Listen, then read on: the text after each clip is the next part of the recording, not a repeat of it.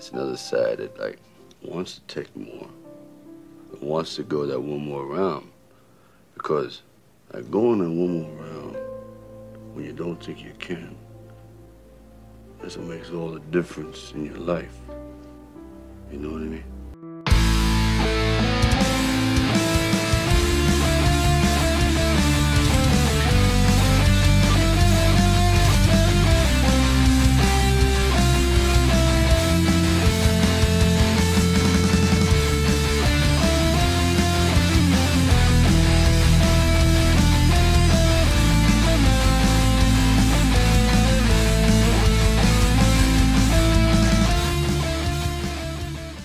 Welcome to another episode of One More Round of the Rocky Series podcast. I'm your host, Ryan, and together again after a bit of a break, the three of us are back together again. And as it should be for the start of season three of One More Round, Rocky Three, we have Katie and Kyle.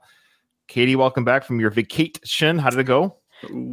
Good. Just a quick little, just happened to be gone on the Sunday. But yeah, it was good. Thank you. I am uh, very excited that Kyle is returning to Earth now from Mars. Temporarily, I'm upstairs right now. The lighting in the basement room, which I'm usually in, causes my camera to go red. It did spontaneously stop Mhm. doing that the other day, but I, I don't have a lot of faith in it that that will be a trend going forward. That's Well, it was weird because the yeah, last episode we had, of course, guest host Doug from the Rocky Minute Podcast, the number one podcast on our network. Uh, Doug, uh, we love you, and you did an amazing job. He listens to every show. Uh, he truly is a great guy. Doug is like the nicest guy. He's just a sweetheart of a guy. He really is. I hate that one of us can't be here, but he's my fir- he's the first guy I message if one of us can't be here. I do want to commend you guys. It was a really good episode. I very much enjoyed it. Oh, thank you. Uh, and during that episode, though, you probably heard it if you're obviously listening to the show. Kyle or Doug mentioned, "Hey, look, Kyle's you know come down to earth." What happened was his red light or whatever it went normal, so Mhm. Kyle became normal. In fact, Jared from the uh, a guest host that he's come on the show with this one as well, Jared Talkstein, he uh, created a picture of Kyle. Did- Yes. Has Kyle seen it? I don't think so. I don't know. Okay, well, for the YouTube version, again, if you want to check this out on YouTube, check out our YouTube channel, One More Round, the Rocky Series podcast. You can Google it. Uh, I'll show the picture now that Jared created. It was really funny. Basically, what was it again? It was Kyle with like it- like the Martian, like the cover of the book, The Martian or whatever. It Yeah. was Kyle coming back to Earth or something. Yeah. so I think that's great. I love when our listeners do that kind of stuff. They know the lore enough to know that Kyle is no longer red. But that's why, again, that's why the logo of our logo. If you look at our podcast logo, you know, of course, Katie's pink. I'm Mhm. blue for whatever is my favorite color with a little blonde hair or gray hair, and uh, there's Kyle with glasses and the red face. That's because of the that's because of his red camera. That's why it's red. Anyways, Well, how are Okay. you, Ryan? oh, I'm doing well. I'm doing fine. Settling into my new job and just learning a lot to learn. This the learning curve is high, but the stress is low. Meaning, I have a lot to learn, Oh. but there's no. I'm not put to the gun with pressure. Or you better figure this out, or you're, you know, it's oh, just that's really nice. Like, what a Yeah. comforting feeling. Also, is this your new um, podcasting room? Yes, this is the office. This is the Okay. office. Uh, behind me to my left is uh, the futon that we'll be putting up in here for guests when they come over so they can sleep here. It's a big enough room they can sleep here. But yeah, that's my desk and all all set up. And yeah, I'm good to go. Very And- nice. And uh, Kyle has a blackboard behind him. Is that what that is? yeah, it, it's in my uh, kitchen. We have a chalkboard wall that the kids draw on and that we Oh, draw. on. cool. Sorry, So- chalkboard. I should say blackboard. Well, that's that's okay. I kind of I kind of washed it before the podcast, but it still has those streaks. But no, I like it. I, I I do it. too. It reminds me of being a kid. In yeah, school. I remember having to do chalkboard duty. You know, pounding, clapping the yeah. yeah yes listeners we are that old we didn't have whiteboards when we were in grade school yeah. Or Or like there's- uh, yeah Dry eraser boards? No, Yeah. no, no, no, no. There was in my high school. There was a few rooms that had dry eraser boards. Oh, Yeah, no. yeah. Kyle's a little younger. Yeah. He's a little younger than us, so he might have. Well, Katie and I are pretty close in age. well we're probably about like older brother middle sister younger brother kind Right. of probably matter of years So- it can change things it depends on the school the budget the district Mhm. like you know some schools might have been some schools might have had dry eraser boards when i was in school but there's- Right. th- there was with the rich private schools for all i know i think i did have some in high school as well kyle but What what, So, what year yeah. did you graduate high school? Oh, yeah. 99. I was 2002. So, there's- Oh, okay. Yeah. so you're my Years you're my older sister's age. Yeah. Okay, 99 and I was 93. Okay, Mhm. so we're all within that kind of yeah. I'm the old one. We know that. Okay. Well, we'd like you're to the welcome screwed up middle child, Katie. I know, which is weird because I'm actually the, the youngest child. So I'm, That's right. Yeah. you know, and I'm a Leo. So apparently we like attention. You know, Really? Yeah. Young Leos and the youngest child, they're sort of Sure. notorious for that. Sure. All right. Well, yeah. Well, you came to the wrong podcast if you're expecting any attention. you got to have an audience to have attention. No. Um, well, thank you so much for everyone who's joining us live or watches us on the Patreon page and who supports me on Patreon. I do appreciate it because it, as I've always said, it helps pay for the uh, Last of the Action Heroes podcast feed. And I know I don't plug it very often. I should plug it more. You, I mean, you're listening to this via that network. You see all the shows that come on. I want to thank everyone that joins or joins and listens to the variety of shows on there. The Rocky Minutes there, of course. My co-host from the Rambo podcast, Dom Matello. Dom, he's amazing. He's great. His movie thought podcast is, is fun. Uh, he's a great guy, and I'm really grateful for you guys. I'm just uh, feeling nostalgic because here we are moving on to part three, Rocky three, season three of one more round. This is where we get a little bit uh, cartoonish, folks. The 80s is kicked in full throttle. Oh, Katie, speaking of which, you're excited because you like the 80s, but quickly, why don't you just plug your amazing podcast, please? I always Oh, you're so kind. Yeah. No, speaking of it, I, I do love the 80s Rockies and things 80s and 90s. So I have a podcast if anybody wants to check out nostalgic stuff, movies and TV shows and all that. It's called Retro Made, your pop culture rewind, and YouTube channel and wherever you listen to podcasts. We cover movies and throw in, I sprinkle in pop culture of the time. If you like that kind of thing, check it out. You do a great job, and I'm. I, I know I said this on the last podcast, but I don't think you're there. I'm just so proud of you. You're like, you know, to see you spread your wings and do your own thing. And would you be doing the Retro Made podcast had I never invited you? no, no, that's what I no, thought. probably. And so thanks a lot. But also, Well, I do want to give you uh, like so much credit because you have a lot of shows and you're you're very professional and well spoken. And not everyone is, myself included. I am not. Not true. Um, you're the smart one on the show. also, there is so much work behind the scenes. I didn't have a full appreciation for until I until I started doing it. So everyone, Ryan spends a lot of time being meticulous about getting a quality show out. So thank you, Ryan. Oh, stop it. Stop it, you. All right, you're making me blush. Okay. Well, speaking of which, we're going to go into Rocky 3. We don't have any emails. So if you haven't sent us an email in a while, and uh, we'd love to hear from you, I do want to say thank you to those who do comment on our YouTube channel. Uh, those are always read and I always respond. And our Facebook uh, group as well. I always read those and I always respond, but I kind of keep it there to those social interactions on YouTube and on Facebook or Twitter. And I want to thank, say thanks to those people who do listen and comment there. But the emails uh, just have a different flavor. So if you want to send us an email, we'll read Mhm. those on the air, of course, and voicemails as well. If you can send us a voice file, we'll play it on the air. That, that will work as well. We haven't had that happen yet. Who's going to be the first one? I sent one. That's not a podcaster or a podcast host. So Yeah. yeah, how yeah. it works, folks, if you have a smartphone, you just download a, a video app or sorry, a voice app. It's called like video record or voice record. It's very easy. You just literally talk into your phone like a voicemail, and then you hit share an email and off it goes. It's like a very small file in your email. It'll go to anyone. It's very easy to do. So try it out. And our email is in every show note. Okay. So we're talking about Rocky 3. Okay. As we all know, Rocky 3 came out in 82. It was written, directed, and starred Sylvester Stallone, who also did the other previous Rocky uh, movies. His second film of Rocky 2 was the first one he directed, and then he directed this one again. Continues the story. We have the addition, of course, of Mr. T playing Clubber Lang. And did you guys know how Mr. T was found? contest for um what are the door guys? Bouncers? Yeah, it's cra- I tried to find a YouTube clip on it so I could show it on our channel here. Couldn't find one. So yeah, so real life boxers Joe Frazier and Earnie Shavers were considered for the part. Which would have been kind of weird had Joe Frazier been given the part, considered he did an actual cameo in the first Rocky film. He's too Yes. nice. Yeah, he's way too nice. There's no way he could be an asshole like that. Even Earnie Shavers is a pretty nice guy too.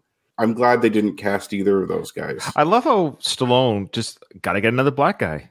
it's like, I sort of assumed there are more black boxers than white boxers. Maybe I don't know. I- In the heavyweight division at that Oh. time, for sure, there were white boxers who were competitive for sure. But if you look at like all the heavyweight champions in the 70s and the 80s, it was I think exclusively black guys. Even into the '90s, like it wasn't until like the 2000s and later. Like right Mhm. now, the heavyweight champions are white, but Mhm. black guys were definitely in the heavyweight division, kind of more prominent. Yeah. There's there's this thing like the um the Great White Hope. Yeah. There's a movie. It's really obscure. It's called The Great White Hype. Is that a part of our boxing movie watch? Uh, Uh, well, I shared the link with you guys, so you have access Yes, to it you- a while yes, ago. you- But I I, didn't I would have to memorize it. check. I I guess it's not that obscure. I thought it was. I, You didn't I, memorize it? Oh my god!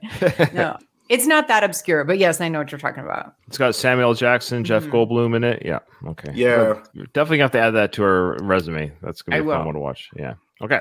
Mr. T was chosen after winning the competition called America's America's Best Bouncer.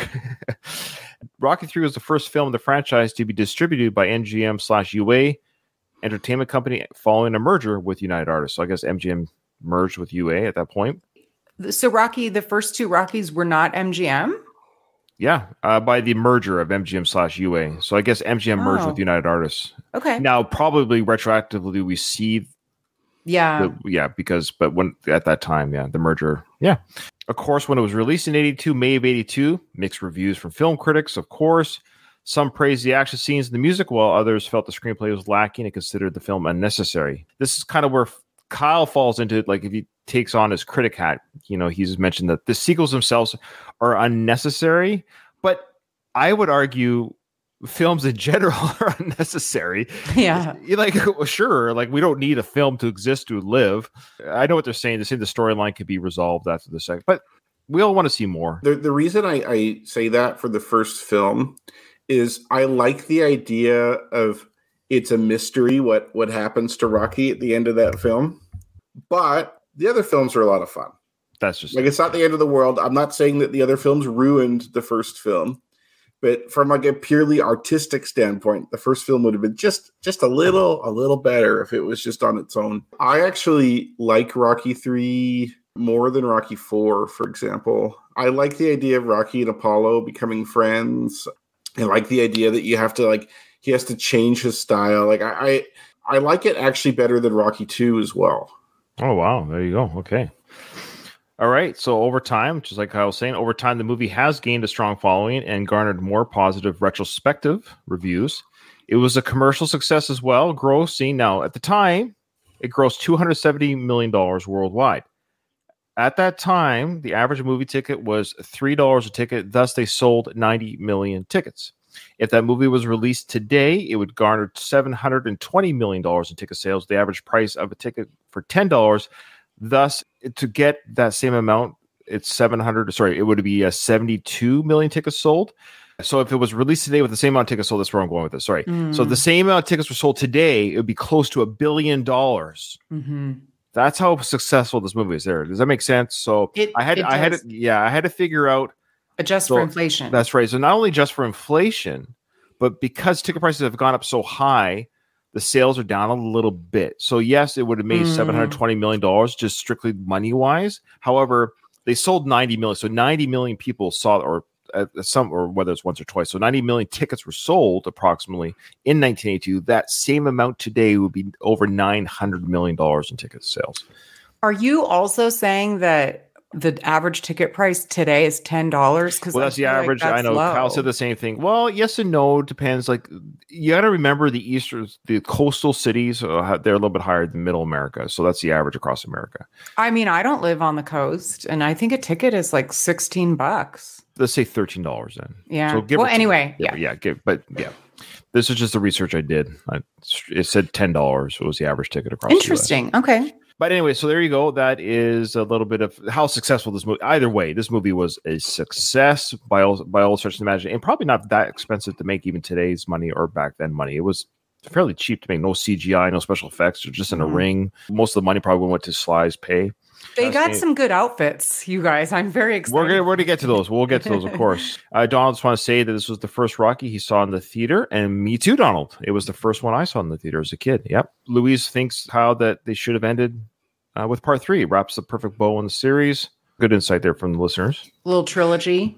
Maybe Yeah, Yeah. Rocky. Four actually doesn't serve a purpose at all. I, Like- it's my favorite. I could rewatch that all day, every day. I love it so much. It- it- you know, and we'll, we said it before, we'll say it again. Rocky Four. When everyone says, "What's your favorite Rocky film?" Ninety-five percent of the conversation is between four and one. No, it's almost split 50-50 too. Mhm, Like mhm. four and one are 90 to 95 percent of the people's choices there's a few outliers like kyle saying three or two there's even the odd odd person who says part five i kid you not and they mean it so no i'm not even joking i've met those people I think it very much depends on which movie you saw, like growing up. The first one is amazing, but as a kid, I thought it was boring. it was born as a kid absolutely Yeah. yeah absolutely we're going to start the film. So today's episode will probably most likely just be the intro. Obviously the montage there'll be a lot of talk. We'll go as far as we can go but i think the intro would be the nice little you know the all the split screens the, the montage intro. We're not going to do the recap of the fight. It's pointless. We've done this before. There's no point in recapping the fight. Even though it's done in the film we'll just get right to when the transition between you know he wins to the eye of the tiger. Song kicks in. So i want to talk about the eye of the tiger really quickly here. Eye of the tiger is a song by the american rock band survivor. It was released as a single from their third album with the same name and became famous as the theme song for the 19, 1982 movie rocky 3 the song was written by guitarist frankie sullivan and keyboardist jim peterik now do you guys recall which song stallone originally wanted but got, got denied? Was it the Queen song? which song Uh, we are the champions? nope Or another one bites the dust? Yes. You know what we need to do? We need to somehow get another one bites the dust overlay music over top of that to see how that fits. I could guess I could see another one bites the dust for when Rocky's knocking out all those people in the beginning. hmm But then, like the rest of the film, another one bites the dust doesn't make any sense. Agreed. So, like, that's probably a good call that that didn't work out. But this is the first time we're hearing music in the Rocky films that not by Bill Conti or not made for the film. It's like an outside got- source. Sort of. Don't forget Frank Stallone's "Take It Back." do do do do. Yeah. Did that pre-exist the film, or did he do it for the film though? He did that song for the album. It was on the original soundtrack. Yeah, okay. Until- I, I'm not He did- counting that. He did. Trust me, nobody should count anything Frank Stallone does. Okay. Now, the version that we hear in the film, folks, is actually the demo version because it includes tiger growls not found in the album version. I didn't hmm. realize there were tiger. Growls. I don't think I it. did either. Eye the Tiger became a huge hit. Now, how big? And this is surprising to me how big the song really was. Like, I know it was a big song, but it was a big song. So, Eye the Tiger became a huge hit in '82, receiving a lot of airplay on MTV and radio stations worldwide. It reached number one on the Billboard Hot 100 chart in the United States. It stayed there for six weeks in a row, making it Survivor's only song to the top of the chart. It was the second best-selling single of '82, just behind. Do you want to have one to guess? Retro Made the host. 82, it was just behind. No, I don't know. There's so many. I would. I I, would- sure. I don't mean to put you on the spot, but Is it a Queen song? no. Oh, okay. yeah, who sings it, or would that give it away? Well, I'll say the person's name, but you'll guess it. Olivia Newton-John. Oh, what is the the workout one? Yes, that's right. Um, Let's get physical. Physical, physical. I want to get. That was the number one song. Is that weird? That song was It number is. one. It's It kinda weird. odd.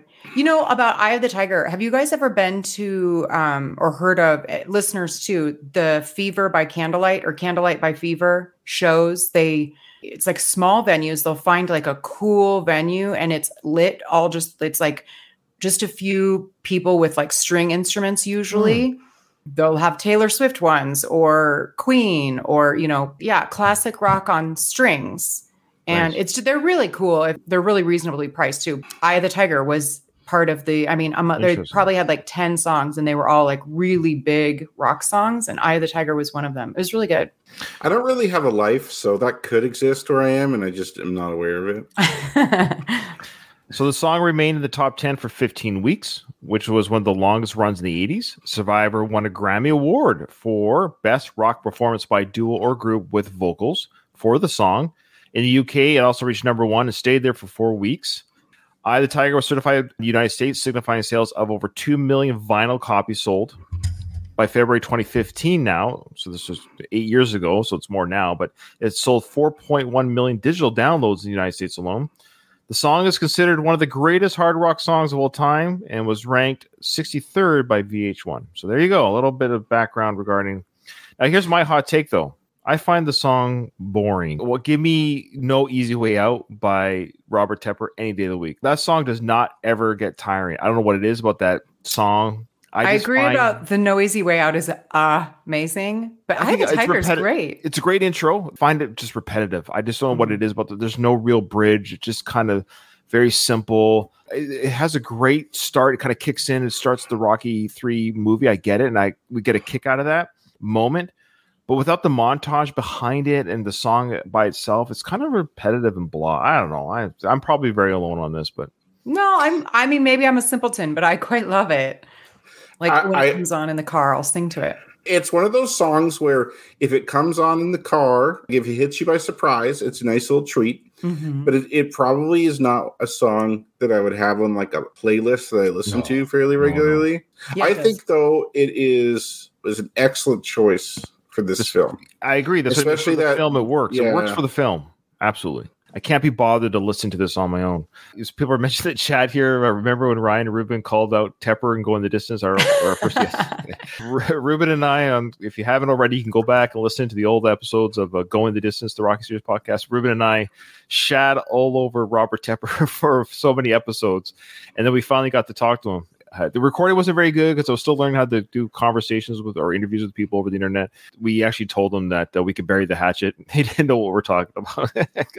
so it was a lot of fun, and Robert Tepper was a really good sport about it. We just said that we made fun of him, and then we're not going to do that anymore because we interviewed him. But and we were running short on time, and I I left out Angel of the City, and people were like, "What? What? What are you doing?" All right, take it easy, take it easy. I, we'll get it in there. Well, thanks, Well, thank you, you- Robert. We Hey really, man, uh, thanks guys. This you guys are really thorough, and really good. How many? How, how often do you do the podcast? You gonna send me a copy? yeah, yeah. We'll send you the link when this episode comes out. And I want to say, for open disclosure, we've had a running, a running joke. We pretend to be mad at you for, uh, for, for I'm glad you like it. So it, it was an, it's an ongoing, it's been an ongoing joke through our Rocky Four coverage where you interrupt our show with your music, Okay. where we say that you made Rocky Four and not Stallone and things like that. We just want to let you know that it's all good fun, and so a lot of our listeners have been looking forward to this this episode of you coming on. You've been nothing but gracious and kind and and open with your stories, and we appreciate that. Well, thank you so much. And if you ever need me to do any IDs or do, do some verbal interruptions, I will. If I think of something funny, That'd be awesome. I, I would love that. Thank you so much, Robert. that's that's great. Okay, guys, thank you so much, man. Thank you, Robert. Cheers. Thank Take you. Bye bye. Bye.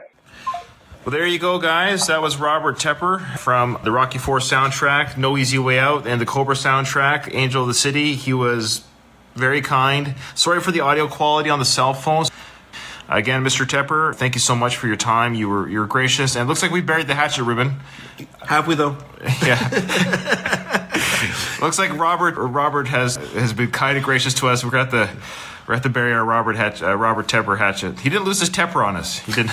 So, so uh, Robert, good luck with all your future stuff. And again, I just want to uh, reiterate how influential that song has been in people's lives. You can't watch Rocky Four without getting excited for that Lamborghini Countach scene when he revs up the engine, the drum beat kicks in, and Robert Tepper's voice screams.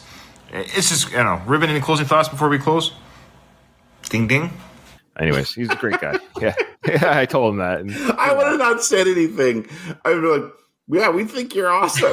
I forget. I even forget what kind of the jokes were about, but we just kind of always say that Robert Tepper, you know, ruin ruins our podcast, and he would he would uh or skip out on interviews or something like that. We just kind of made fun of him and his hair. Oh, yeah, his know, hair. I can't even picture what he looks like.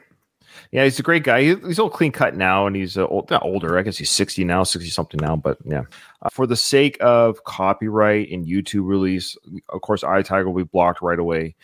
So there you go. So, uh, but I do want to play just a little bit of the transition, just a little bit. Hopefully, it doesn't get claimed because it doesn't take long to get claimed. I just I like the transition between the original outro music of Fight, and it kind of kicks into that, mo- you know, it's the the final round, whatever music by Bill Conti and it kind of kicks into that modern era music, which I think is part of the reason why they did that was to show we're now into a modern age from 79 to Mm. 82. hmm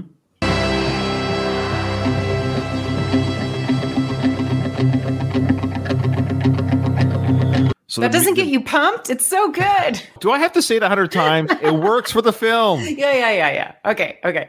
Okay, so right away though, we get the fireworks going. Rocky is not just a champion of the world; he's champion champion of the world. World. He's beyond a boxing champion now. With like we have fireworks celebrating his stardom, and he's like the world star. he he's really likable because of his like Cinderella story, and he also proved through two long fights that he didn't like get a lucky shot and just get the championship out of a fluke, right? Like he really earned it. He came from nothing. Like he, he captured everyone's imagination. So I could see why people would like him so much. George Washington Duke in five was he's a people's champion. Is, isn't that who said Yeah. that? Yeah, he really is. Okay, now we're going into they uh, they they want killers.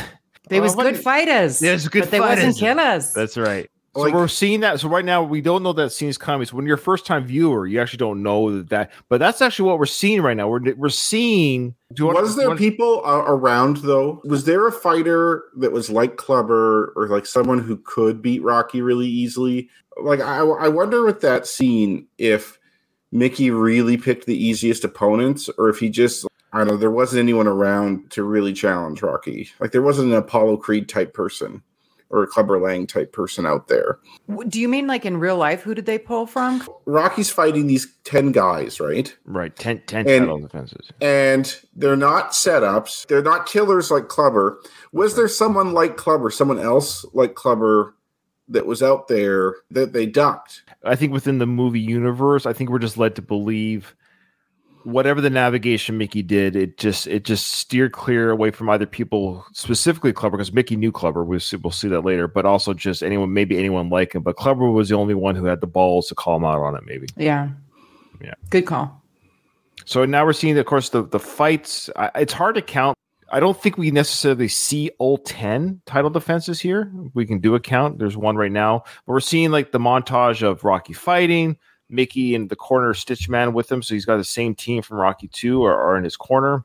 And he easily wins. Like Look what he does to these people. He's pounding that guy to oblivion.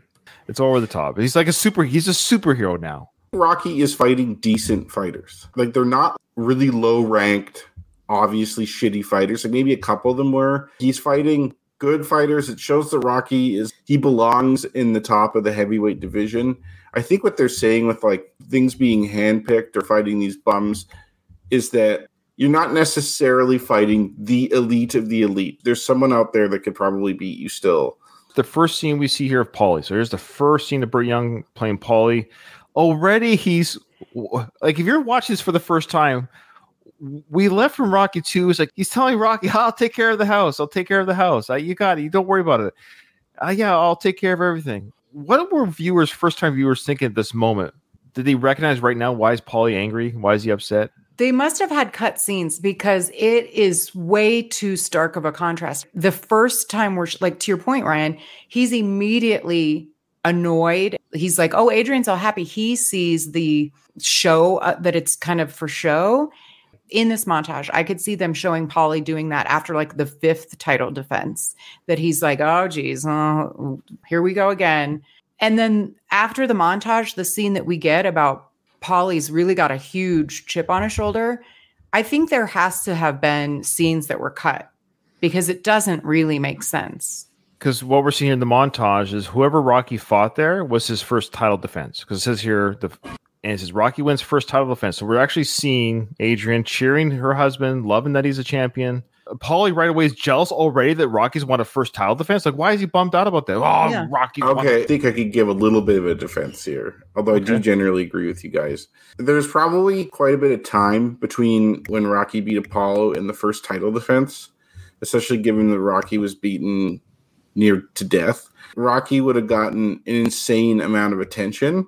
So I'm guessing Rocky's attention and popularity and wealth was kind of grinding on Paulie for like this could have been a year in between when he fought Apollo in his first title defense. There's probably a mm-hmm. lot of stuff that happened in that year. Like they would have moved into a way nicer house, which I guess Paulie doesn't live in. We find that out, which you don't know that when you're first viewing the film. And you could see Adrian is already totally changed. She Yeah. has her hair nice and she's in nice Oh, yeah. clothes. So like they've moved up in the world, obviously. Even though it's the first title defense. This fight with Apollo, he probably made millions of dollars off it. He's huge major celebrity now. And it's kind of going back to more of the Paulie we knew from the first film, who was jealous when Rocky when he was watching the press conference with Rocky. Paulie's probably still working at like the meat factory or whatever, the meat packing plant while Rocky's living this like luxurious life. So, He's on the docks. oh yeah, sorry, that's right. Yeah, well, the bucks. he, yeah, he well, kind of goes from the docks Yeah. and then somehow back to the meat. I don't Mhm. know. I don't know, I know. what he's doing. These 80s movies are real quick, they're extra tight.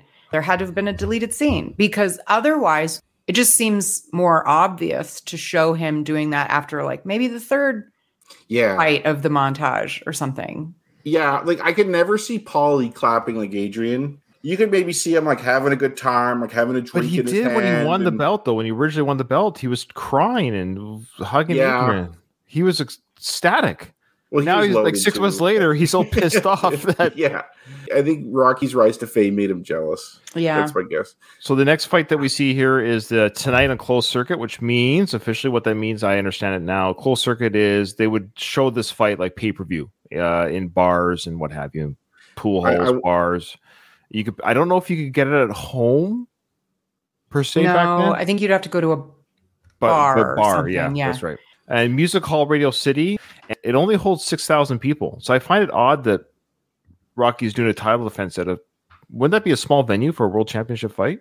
the fight is somewhere else perhaps, but Radio City Music Hall has it on closed circuit. Um, You know what I mean? Like you can buy a ticket to go watch the sh- watch the fight. that's an interesting theory. So you're saying six thousand people would watch it at the hall? Yeah, people from all over the world, obviously. So who knows where the actual fight is?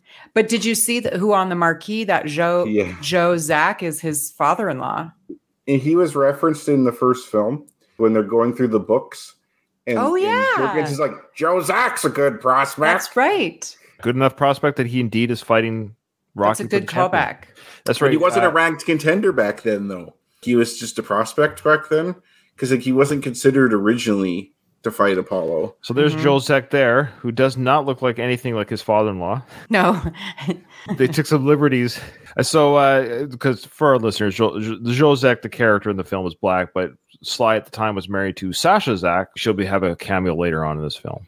If that's- So this title offense happens. Whatever time has passed, now Paulie's openly sort of hiding his drinking at the venue. So he's drinking at the venue. So now we're seeing as an audience, okay, he's bitter and he's a drunk again. We're back to Rock, Rocky, the first film. I don't Yeah, and it's not like they don't serve alcohol there, but he's like, that's not good for it. enough. Yeah. I, I can't have a beer. No, I have to drink spirit straight out of the bottle in, In a order to paper get like, bag. loaded. Is that Five Roses there? It's not, and it's four roses. It's a cheaper. This is J and B, which is cheaper, I think, or maybe not at the time, because at the time Four Roses I don't think was good, but Four Roses is a bourbon, and J and B is a blended Scotch whiskey.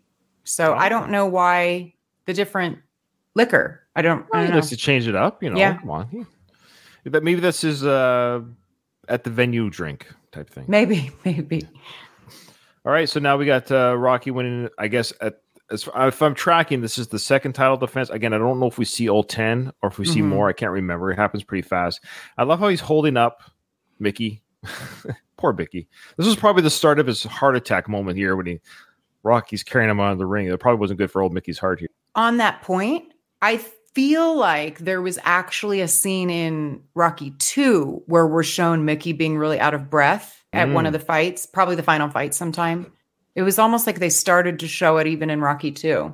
Oh, well, let's go back and do that season again, and we'll see. If we can find it. Yeah. So What's the seating capacity, Kyle? If you don't mind looking that up while we play this for the seating capacity of Caesar's Palace. But I like your theory there, Katie. That's the only thing I can think of because they did show closed circuit at that music hall. Why would they show that? You're right. Maybe it's playing there. Okay, Mhm. fair enough. Fair enough.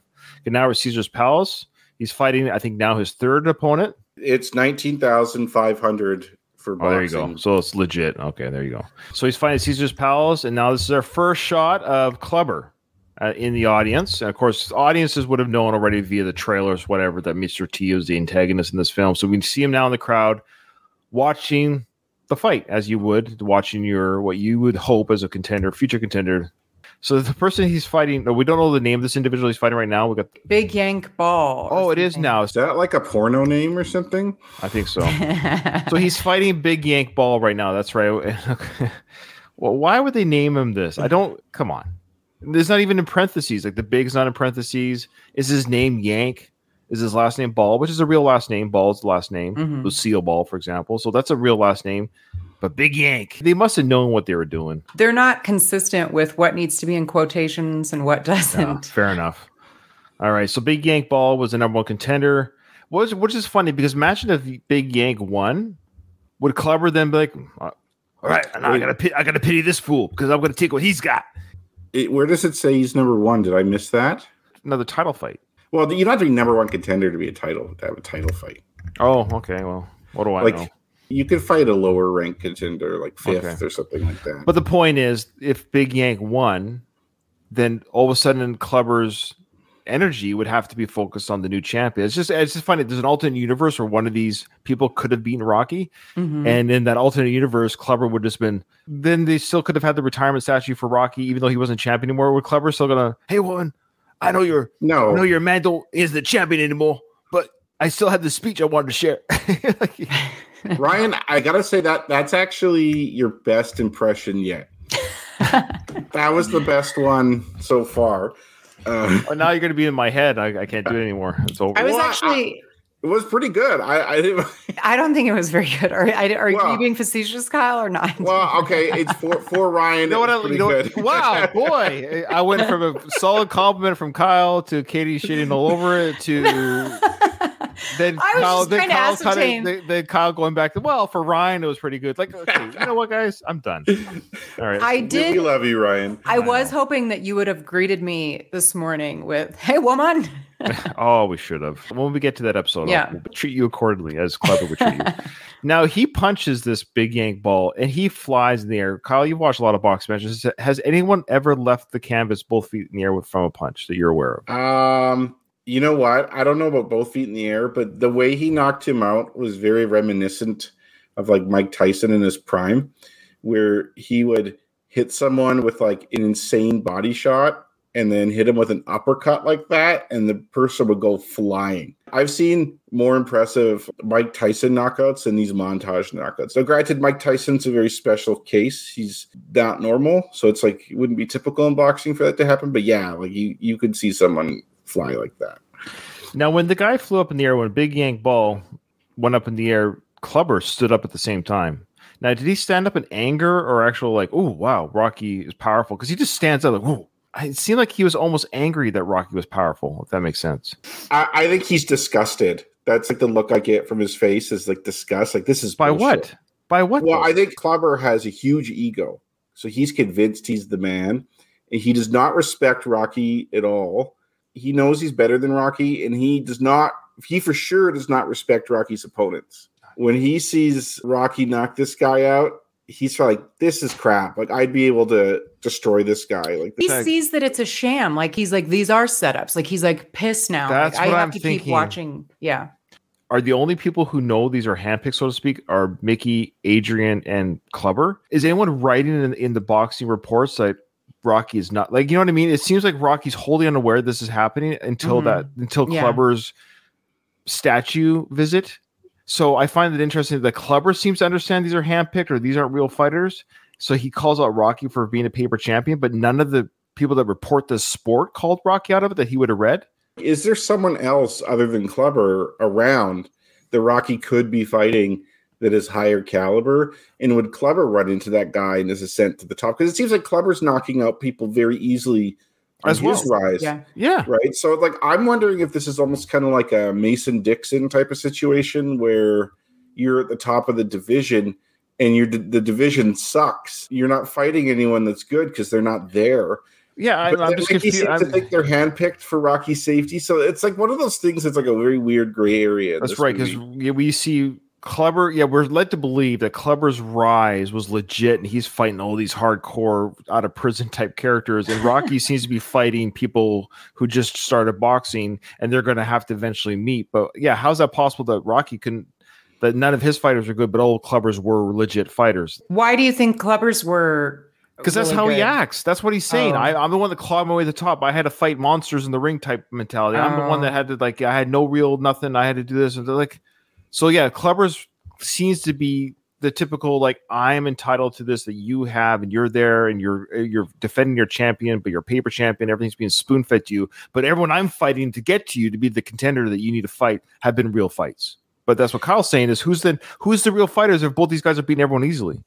I yeah, pr- I personally don't think there is anyone. I'm just going to assume there isn't. Yeah, I did not assume that the people that Clubber was fighting were any better than the people that Rocky were fighting. Was just fighting. by hi- the way he talks about how Yeah. Rocky defends himself against these are still contenders like Big Yank Ball was a contender. These are real contenders. Like Kyle was saying, there doesn't have to be the number one contender, but there's no way they're number 30. These have to be, or else some sports writers are going to say that's what I'm getting is there would they- be they were- sports writers that say, "Oh, Exactly. these people aren't really that great." But that's what I'm saying is like Rocky is legit. When Rocky gets told by Mickey that have that big discussion, which will be a whole new episode, he's confused, perplexed by this revealing. So that would mean that either there have been people writing about this already, and somehow Rocky is totally ignorant to anything being written about him. But Adrian and Mickey, it's my impression they were both protecting them as a husband and a fighter. well, Paulie knows it too. I it's almost putting Rocky in a light that makes him seem It just doesn't read anything.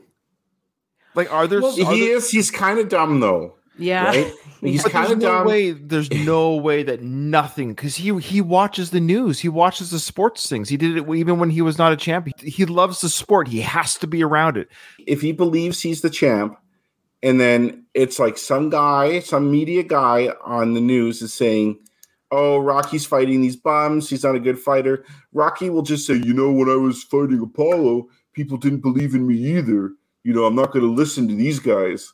He's not going to be objective. because now he's he's a star. There could be a degree of everybody's kind of a yes man. Nobody critiques the star. Everything they do is great. Even like Muhammad Ali would would say openly, like actually, there's a video. I, I wish I could just show it here, where this reporter or this interview, like this talk show host guy, asked Muhammad Ali, "It's like, why are you fighting these guys that are, are obviously not in your class?" Ali's so good at like talking to people and deflecting that he easily handled that situation. Hmm. But even Ali later in his career was like. Yeah, I'm not gonna fight like these hardcore guys late this late in my career. Mhm. Mm, there you go. Okay. Joe Louis, who was one of the greatest boxers of all time, he uh, used to have this thing which they people called Bum of the Month tour, where he would like fight once a month against people who are like complete shit, and he would knock them out. Everyone knew like exactly what was happening, and it was just like accepted. Who was that? Joe Louis, Oh, interesting. the. Brown Bomber. That was his I did- I- nickname. Yes. I did that, I, did that, I, I did that- terrible. I did it this morning. Okay. Um, okay. So now we see, you know, Adrian and Rocky. They're just they're just simpatico right now because you know the first two films they weren't regarding the boxing career. But right Mhm. now we see Adrian just loving these fights because she knows her man is not in any trouble, so she's just enjoying the Yeah. spectacle. Of, I love how she's enjoying. Rocky committing damage to other humans that she doesn't want her husband to go through. So she just loves watching the, the carnage of other people as long as it's not her husband. you see Rocky not taking too like you'll see he has like a cut on his eye or something. Sure. Rocky never again shows the physical punishment that was given to him from Apollo. Even the Ivan Drago beating, which you would think would be worse than the Apollo fights, because Rocky just took a ton of hits. Like his face isn't that bad after Mhm. compared to fighting Apollo. So like he's coming out of these fights looking pretty good. He's not No. like hospitalized after them Right. like uh, no, the Apollo no, he, he gets injured. He gets that's why he gets injured. Well, now that he's got his face fixed up handsome, he wants to showcase that. that's true. I do actually have a hard time believing Adrian's this into him fighting. Like I know He what is. you're She's saying. kissing back at him in the ring. Oh. She, he kisses her with the gloves. He and she kisses blow blow does a blow kiss back to him. They're showing their love. They're so happy. She's wearing nice clothes. She's got all these different outfits for every fight. She's just dressed to the nines. It, it's insane though because it, Rocky should be disabled at this point, right? like Rocky's eyes should be fucked up beyond all recognition. hmm He- she should be saying, now, "Look, we have a ton of cash. We have a ton of money. We do not need to do this for the money. please retire. Don't risk going into the ring. I know what you're saying before about like how she knows they're kind of handpicked, so she's not too worried. But I feel someone like Adrian would be paranoid. Like, oh, what if this guy gets like a lucky shot Mhm. and hits Rocky in the eye just so, and he's blinded now? What are we gonna do? Paulie's behavior, Adrian has changed, everyone's changed. You can't change who you are, Adrian. Rocky Five Adrian is concerned about her husband's health over money. Rocky Three Adrian is not. She loves that cash. She Oh, loves yeah. the lifestyle. She's, She's riding high. it. It's true, but I do think to some degree she doesn't feel there's really danger, true danger. Yeah, because she's no longer fighting Apollo. Uh, we're on the next part of this uh, fight. I think this is the fourth contender we're seeing. I have lost A track. white guy. First yeah, one. I think he- it's German. A European champion. Yeah. So they show them hug at the end of the you know knockdown. I, I you know what I think they're showing here. I think they're showing that in this moment with the hug is that it's the first international type fight. So it's kind of like the bridging of nations. You know, like ah, good call. he's fighting a German. It's all in good fun. Yeah. He's a good guy. Rocky knocks out the German champ, captures hearts of European fight fans. See, there you go. He's just likable, right? He has that charisma. I love Yeah. reading the write up behind under the. there's the the writing has nothing to do with the, the captions. I love it. I love it. The Uh, they did not anticipate podcasts covering this. No, we won't. We won't do that ad nauseum. I know Rocky Minute did it as well, and I think we even did it on Going the Distance podcast. But yes, the the write ups underneath the headlines have nothing to do. This is from the London Examiner. Rocky uh, Rocky knocks out German champ. Yeah, So when I was doing my timeline analysis for these films, I would have to like look at each one of these articles because a lot of them have dates, Ooh. have written dates, which is to me written form is the best way to know a timeline. But a lot of them do have like the date of the actual like fil- the time of filming on them, which I thought thought was interesting. this movie really gets into our time warp. Rocky Three. There's a lot of questions. Well, that's the problem because now this is his fourth fight. Okay, now fight number four.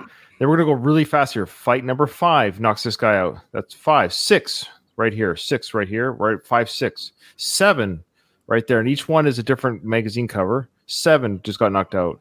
Eight got knocked out. nine, Nine. ten. There's Ten. the tenth one. I think we counted thirteen if I remember correctly. Some were title defenses and some were just exhibition fights. Is what I think. Oh, So, so when the uh, when he knocks out the German champ, because it, like I think Kyle's mentioned, they don't share the same.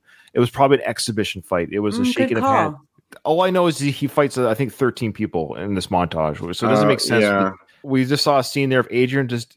Of course, we're hearing the Eye of the Tiger, Tiger music, and Adrian slash Talia Shire, she's dancing in her seat. So it's almost like she can hear the music being played. She's so excited to be at a boxing. This is like the tenth, at least the tenth title defense or box match since he won the championship in part two, and she is just on cloud nine with every fight. She just cannot get enough of this.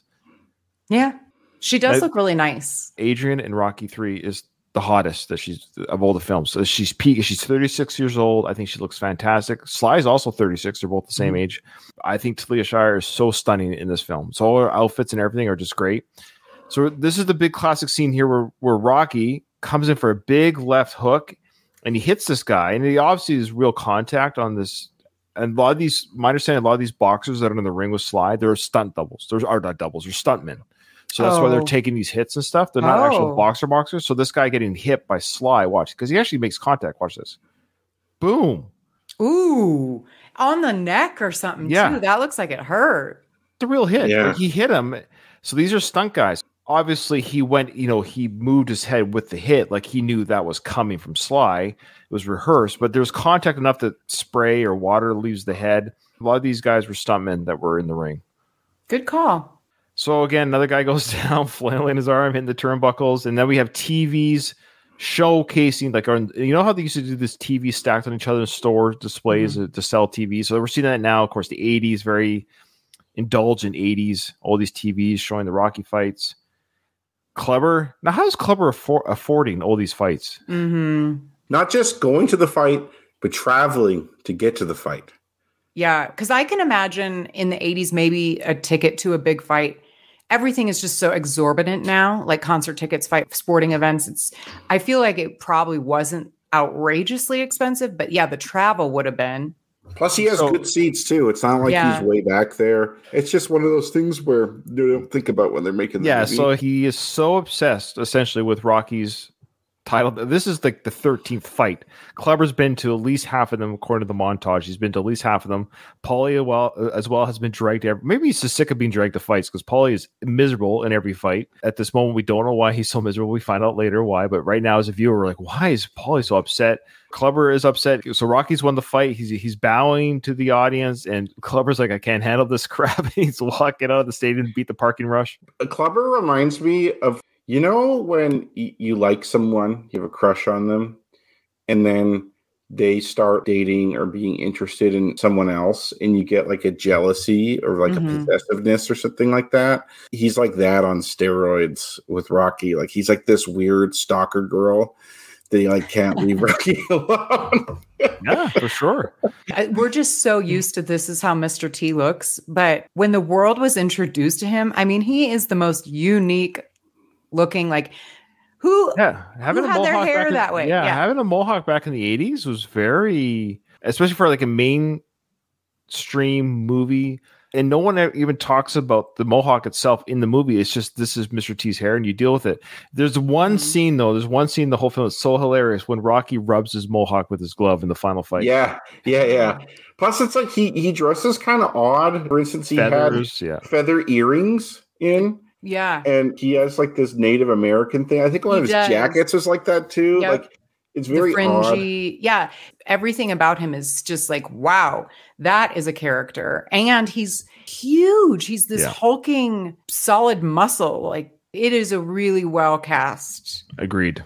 villain. this is the first time we've seen the Rocky films. We are actually now seeing pre-opponent montage fighting of a future opponent of Rocky. We never saw that with Apollo. hmm We never saw what Apollo did to other people. So now we're seeing what will be the future against Rocky. So we're seeing as an audience right away, like the first five minutes of the film, we're seeing this guy who will be the future. As a first-time viewer, we don't even know that Rocky's going to lose the fight against. I remember when I first saw this film as a kid. I remember thinking, "What? He's fighting him already?" It didn't even Mhm. occur to me that he could lose. This is uh, interesting to the audience right now, seeing the kind of the damage that that uh, Clubber is doing. So, guys hanging on the ropes, Kyle, and he's got his arm over the rope. Are you allowed to keep punching him while he's hanging on the rope? okay. You know what? I don't think so. Being punched while you're going down, if you're leaning against the rope and you're kind of crouched down, you could for sure keep punching someone. For example, there's an interesting video. Tommy Morrison, who is Rocky related, he got hit by this guy and knocked out, but his arm got stuck in the rope. Oh, and so he wasn't falling like he should. Like, you remember if you get knocked out, you fall around mm-hmm. and you can't get hit anymore. But his arm got stuck in the rope, so he's like kind of half conscious, stuck in there, standing up.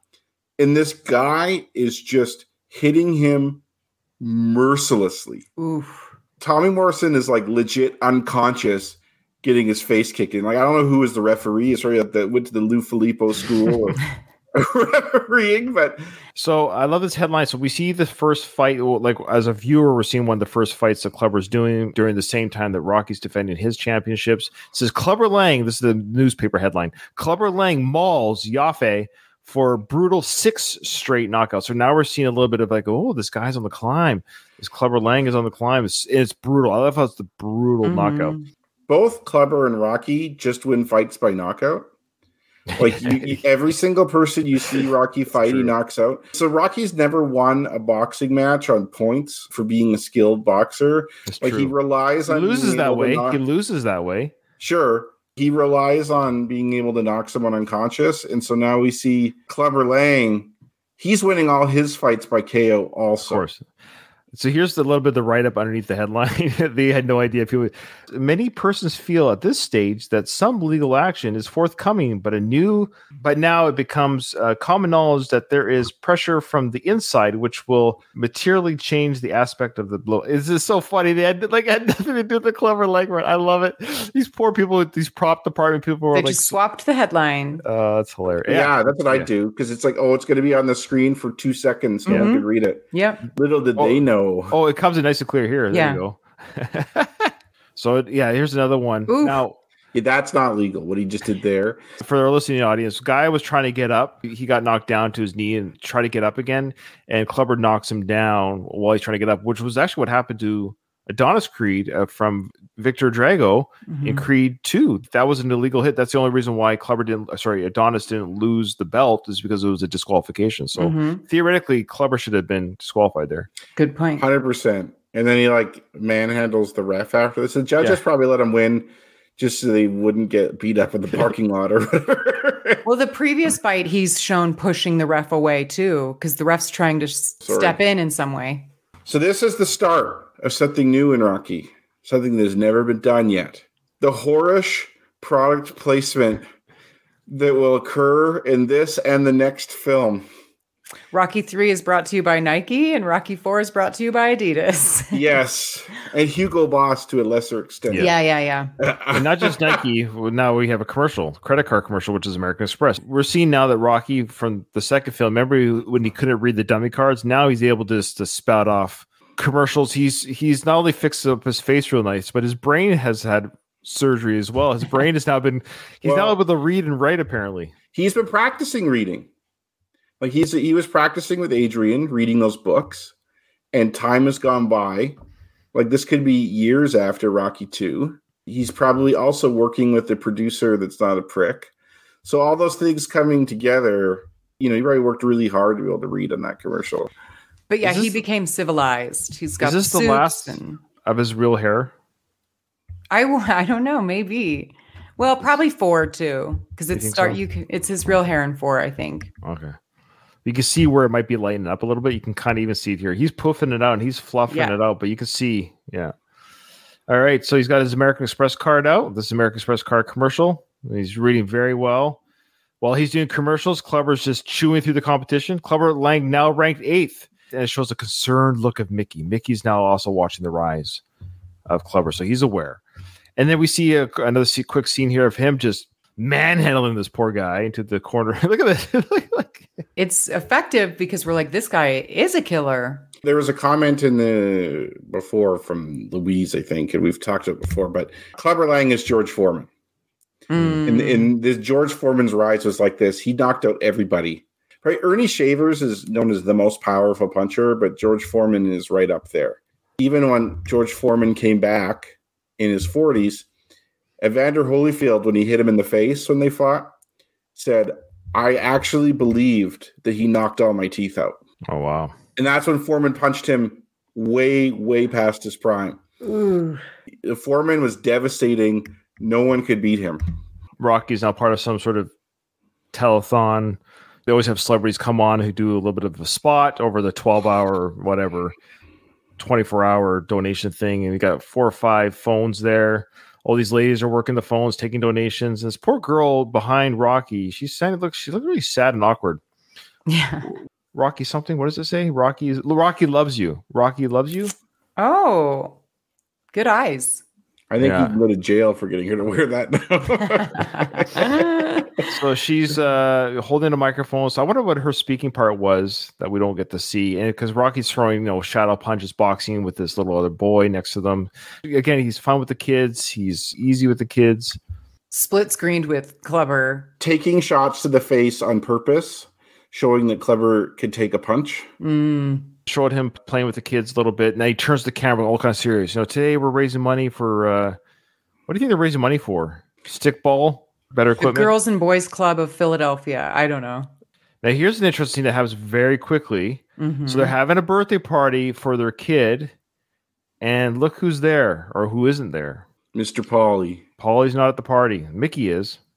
Well, we just don't see him. But Yeah, I because think it ha- Paulie had a good relationship with the kid, right? I know, mm-hmm. but I but okay, but there's a Christmas scene coming up, and Paulie's not there yet either. So we're I think this mm. is part of the problem because Mickey moved into the house, so they're throwing a birthday party. You're right. You can say Paulie, sure, he's getting the beer from the fridge, but I think it's supposed to showcase that Paulie's not there. Mickey's at the party. Yeah, that's a good point. See, and there's the dancing Santa. That's Mickey. Yeah. Little dirt bike in the house. Look at all those gifts for this kid, spoiled brat. So they have a dirt bike or like a BMX bike for the kid, and then in the living room as well, they have An actual motorcycle. a motorcycle in the living room. How? Like it's for Rocky. The motorcycle's for him. So did Adrian, I guess, have some workers deliver it oh, during? yeah. I We'll know. make it happen. They'll hide it in the house. At some point, they went to bed as a couple in their palatial mansion, How did they sneak the bike there? For, Adrian could bring that bike in whenever the week Yeah. before and hide it somewhere. The house is that big that you could probably hide it. did her and Mickey roll it in from wherever the hiding spot on the same floor? Workers did. They have help now. Good it's the living though. room. How did they sneak it I don't- between? Well, you, you can roll a bike. It's not that yeah, hard. yeah. I feel like I All could physically do It's on that. wheels. I'm, I I'm, I'm, out- I'm outnumbered again I mean, I hear what you're saying. It is like because she's like, "Look at this beautiful fur jacket you gave me." She's he's like, "Yeah, look at this beautiful bike you gave me with the helmet in my hand and the bow on it." Still, like it's gifted to him. He saw it when he came down with the kid who's dancing with Mickey right now in the sand outfit. Like it's just I don't know, but I know it's showing showing how much money they have. This is the kind of money. Mm-hmm. This these are their Christmas gifts. I get it. Rocky's financial ruin was inevitable. Even if he didn't have a crooked accountant, it is a real common thing in sports when you have people who are not used to having a lot of money or any money at all. When they get a lot of money, especially athletes, they spend like they're going to be earning that money Yeah, I know. Yeah, for yeah. decades and decades and decades when in reality their their sporting career is pretty short and i mm-hmm. understand he makes loads of money off commercials and Yes. stuff too Yeah. i think it's only a matter of time before he fucked up and lost all the money fair. and So the there's DeLorean. How DeLorean, 80s is that? Yeah, so there's a DeLorean. This is three years before Back to the Future, so there you go. It's just showcasing the ads, motorcycle ads, camera ads, slides the face of the Maserati and DeLorean, which is odd that he's two a face to two yeah. different car companies, which is odd. Mhm. well i don't know if they're direct competitors in the sense right if, if the people buying the maserati would be interested in the delorean and vice versa Cover of GQ. With the watch. It's Rocky Balboa goes Western. It's on GQ. So funny. That's odd because like Stallone himself wears like Western gear. Or he does now. I don't know if he did in the 80s. But Rocky doesn't. We never see Rocky wear Western clothes. i think he'll do it if you pay him enough Oh, yeah, the, maybe. the idea of that. This is another George Foreman comparison. You see Clubber punching the punching bag, and it has like a ton of duct tape around it. Well, George Foreman used to practice his punch on these punching bags, and his punch was so powerful. There'd be like this permanent dent in the bag, and he'd be ripping bags apart. They would have to tape the bags over and over again, destroy them over and over again. And I don't know if they did that intentionally for this Clubber scene. I think it's either that or they show that like he is training somewhere where they have no means to replace punching bags, so they have to duct tape it. But either way, it gives off the George Foreman vibe for sure. Look how quick this frame was. I had to like psycho click my mouse to pause it. There's no one in the theaters. Has anyone seen this? Have you ever seen this right here? No, it's like a Tony subliminal Lamas message. Jeans. And Yeah. he's like showing his butt. Yeah. It looks it looks very gay, eh, like which is fine by the way. But Rocky could take it, and he's like presenting his ass to the yes. thing. It's like so can Tony Lamas, which I guess is Jeeds. I don't know. I'm, yeah, I'm- yeah. Well, apparently. quick Google search. A lot of it's coming up cowboy boots right now, which would tie into his go western. But Mhm. it says Rocky can take it. Dot dot dot. Silken is Tony Lamas. That's so quick. I had to like psycho pause to get this still shot. There's no one in the theaters that would have caught. There's not one person of those 90 million tickets sold that left the theater going, "Hey, did you catch the Tony Lamas ad?" Mm-mm. Subliminal message, my friends. This is literal subliminal messages. All right, of course. Now they're cutting to he's uh cover of Wheaties. He's the cover. He's uh, and Gatorade, and like you're saying, Kyle, all these are real products. So within the universe of the film, showcasing how much Rocky is getting from uh, all these companies to be a face for their company, but also these are real products being showcased in the film, seen by millions. So it's, it's a double whammy in that sense. I'm okay with the Wheaties and Gatorade and stuff like that because it's showing him advertising. Like it's in the context of advertising. So it makes sense. Mhm. Like it'd be weird if you had some brand that didn't exist or something like that to avoid product placement. So you kind of you, you're kind of forced to do product placement there. But like the problem I have in this film with the Nike product placement is that it's just so contrived and obvious. Like especially when it shows them doing their footwork and you see both of them with like the Nike shoes, and I'm just like, Fair enough. You could argue too that mm, yes, they're advertising, but were they also just wearing workout stuff that was just common back then? It's hard to say. Like they, all I'm Nike wear. though. Everyone's wearing Nike. I shit. wore Nike all the time too. Like that was the thing too. So maybe Yeah. No, it, it is like legit because it's Adidas in the next movie. So oh, there you go. Okay, Yeah. so I was into the Rocky movies a lot as a kid, but also as a teenager. And when I was a teenager, and Katie, I'm sure you can remember this, late like 1997, everyone was wearing sports shit, hmm especially tracksuits. Do you remember that? People wearing like Adidas and Nike tracksuits all the time. I remember like the aero shoes more so, like very specific, like Pumas and Adidas. Yeah, and, Puma, Yeah. So I remember watching this film and be like, wow, people even wore Nike stuff all the time back then. But really, they didn't. Like, hmm The Muppet Show, we're showing his appearance on The Muppet Show. And I know this movie came out in 1982, but The Muppet Show's final year was 1981. It ended that Correct. year. Yeah. Correct. What they did here was, as you know, Stallone really appeared on the Muppet Show during its run. What they did is they had the the voice of Kermit the Frog, Frank Oz, I believe it's who does the voice, redo the voice work to say Rocky Balboa instead of Sylvester Stallone. That's all it was. So the That's cool, images, though. the images you see here of Sly with the Muppets is his real appearance on that's the actual appearance of the Muppet Show. So he appeared as himself on the Muppet Show. They then just refurbished it for the uh, Rocky film that that's Rocky on the on the, that was an actual skit that from from the show. And he was Budweiser beer. He was the man or the face of every major Yeah, product. it's almost too much. It's crazy. Yeah. Like is that like it's uh, 20 different products. And they even created a like granola bar or power bar for him called the Rocky Crunch. How did he not cheat on Adrian at this time? I know. I like know. women would be throwing themselves at him nonstop. Like I'm thinking of that because he's signing all these autographs here. Well, that's why we love him so much because he could have. Oh, Oh, and yeah. there he's with Bob Hope. I don't know who the other guy is. That's Gerald Ford. Is it? Oh, Yeah. so Rock so Rocky is now Forrest Gump. Is that where led to Like Yeah. he's thrilled to oh my God. I like- can't believe I didn't know that was Gerald. Rocky went to the White House again, president of the United States again.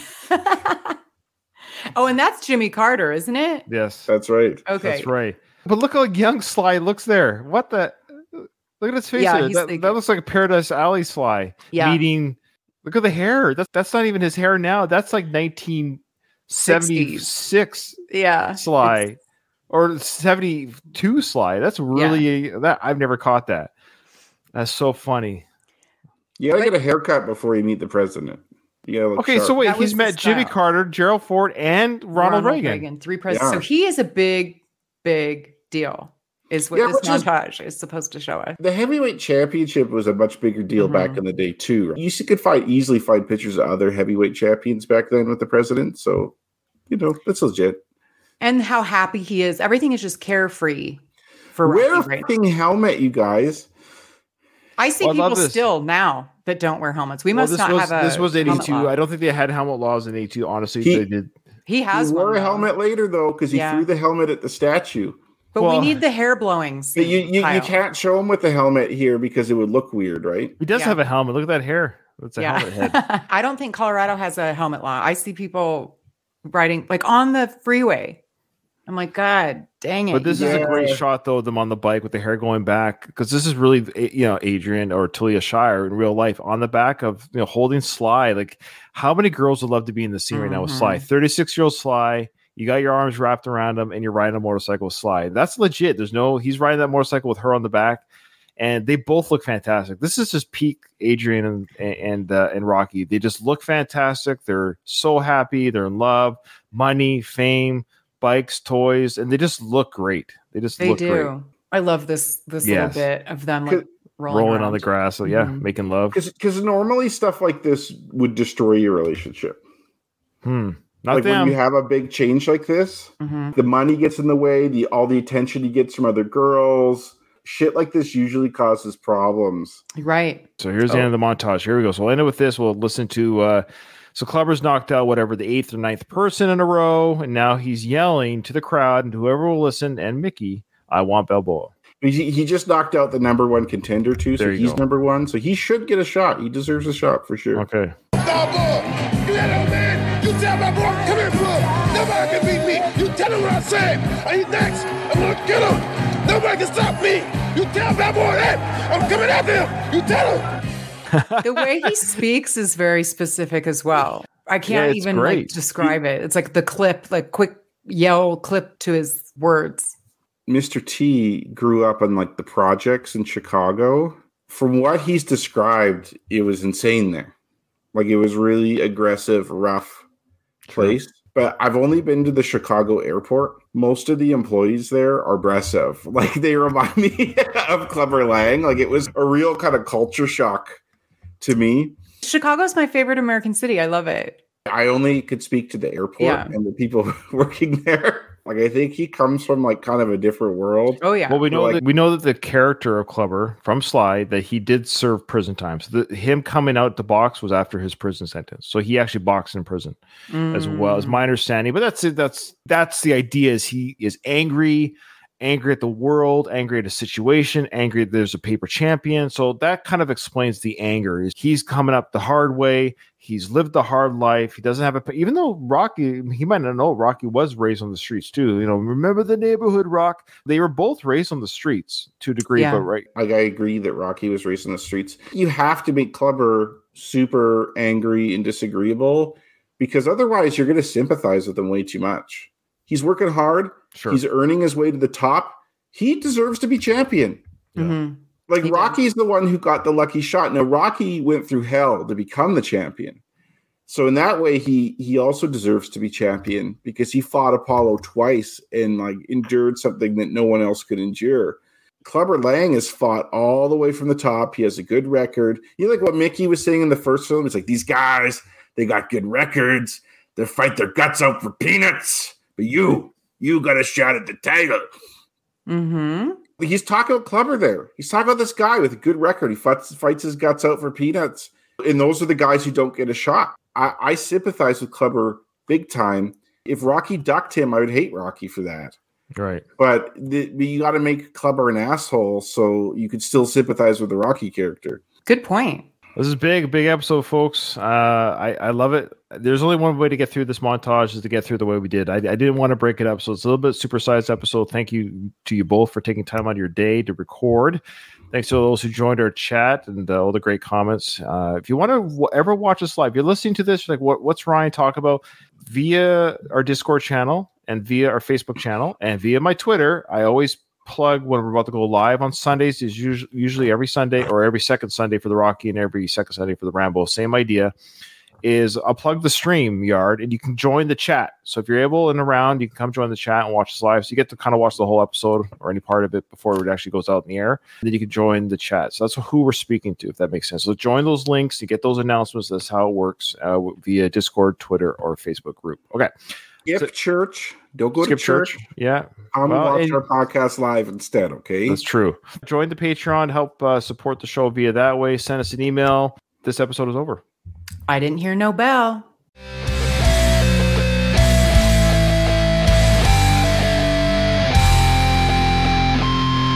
I just want to say